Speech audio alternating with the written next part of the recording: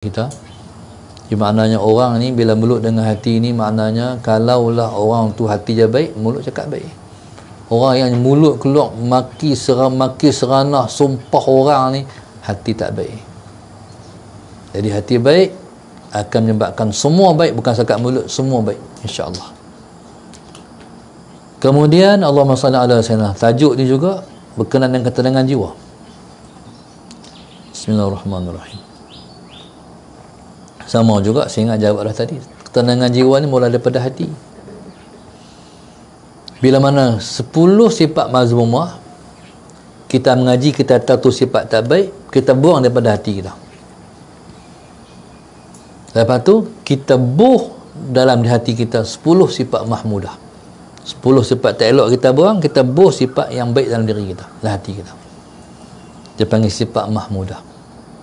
Maka dia proses dia bukan sehari dua yang pertama kena mengaji lepas tu kena buat kena amal kena buang kena tahu benda apa tak elok.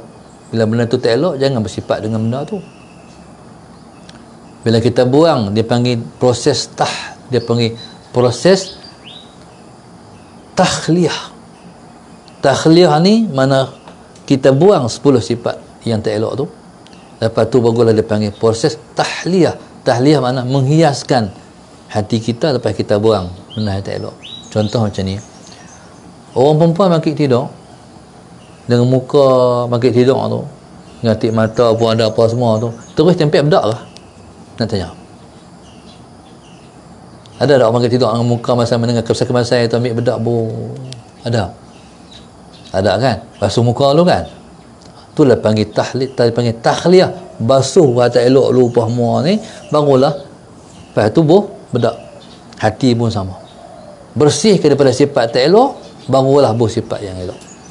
Allahumma salli ala sallam bila mana orang tu hati dia elok maka dia akan dia akan dia akan berarti dia mewariskan dalam diri dia ketenangan jiwa.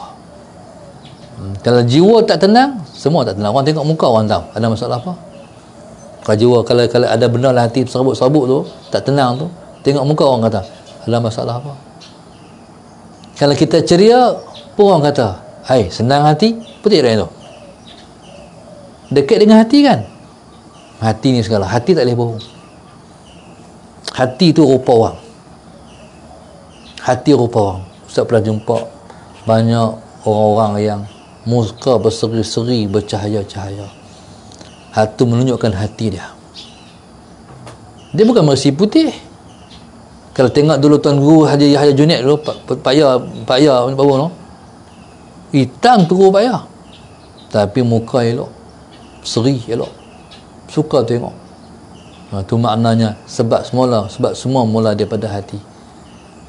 Allahumma salli ala sayyidina Muhammad